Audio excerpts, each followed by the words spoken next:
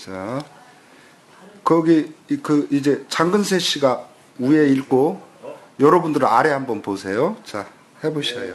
천천히 읽으세요. 몸가짐을 크게 깨끗하게 하지 말라. 어? 이상한 소리다. 그렇죠? 처음부터. 일체의 욕됨, 더러움을 받아 거두어야 하니 남과 어울림에 크게 분명하게 하지 말라. 일체의 선악, 어짐, 어리석음을 감싸 안아야 하니. 예. 아, 참 좋은 말이네요. 자, 같이 읽어보죠. 지신에 지신에 불가 태 교결하라.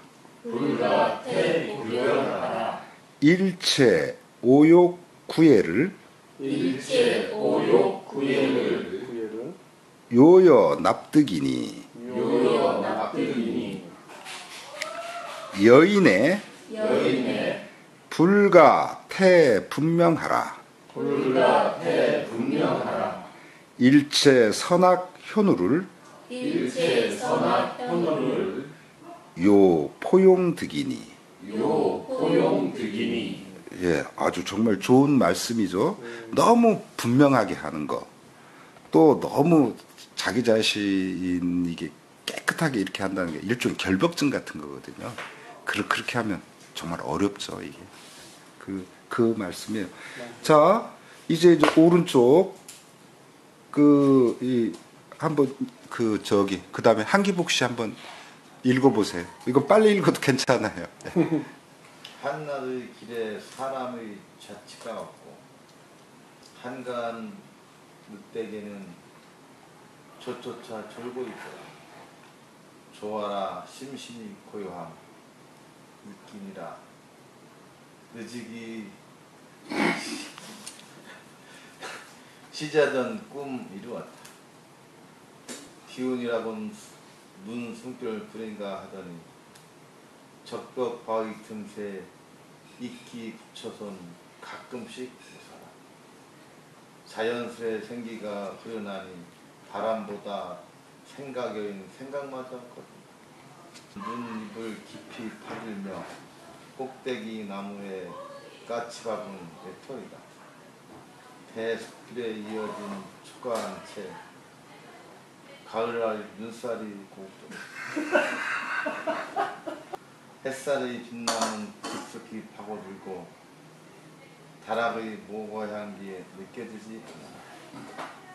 꿈에서 돌아온 별들에 넘어 댄잎엔 차가운 소리 들 누워서 읽는 시는 한가해서 좋고 창밖의 눈 녹은 물 떨어져 풍광이 환상이다.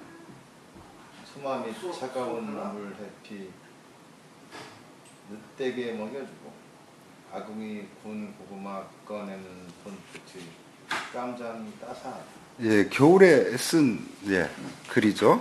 자, 선생님 쓰신 건가요? 예. 아, 참 멋있네요. 자, 그 다음이요. 음, 이, 저, 예, 여덟 장으로 들어갑시다.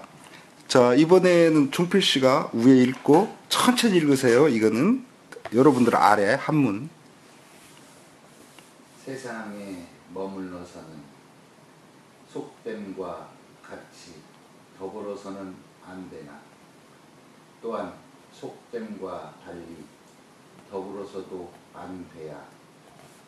이를 지어서는 남들이 싫어하게끔 해서는 안 되나. 또한 남들이 기뻐하게끔 해서도 안 돼야. 예. 그, 제가 나이를 먹으면서 그 배운 그, 저기, 저 몸에 그렇게 이 그 비법의 하나가 은신술, 은신술이거든요.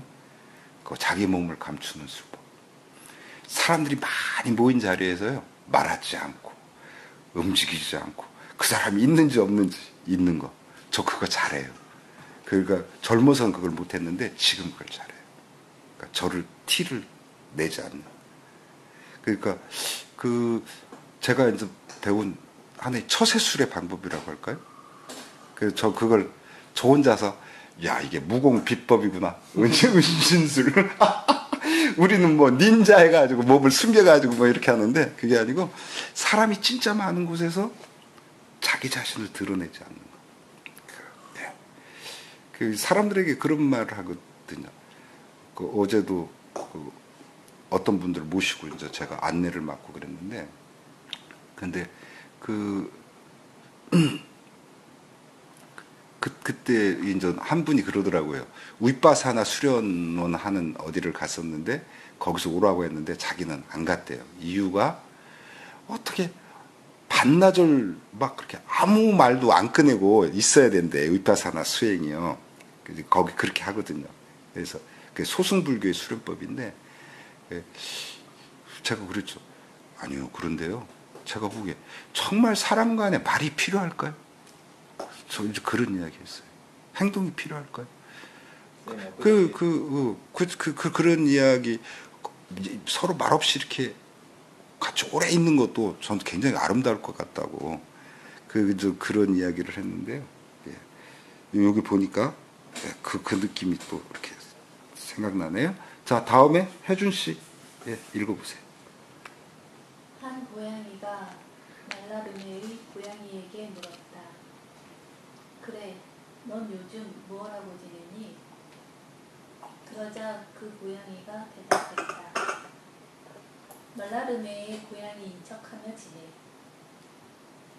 스테판 말라르메의 말라르메의 고양이. 예, 제가 그 이걸 보고 그 제가 이제 그 뮤직비디오 하나를 만들었어요. 요거로. 근데 이거 아니고요. 그 이렇게 이 오두막 집 개라고 하는 그런 거로 어, 졌는데요. 이 뭐냐면 우리 집에 개가 있어요. 진돗개가. 그래서 저 개를 주인공으로 해서 썼어요.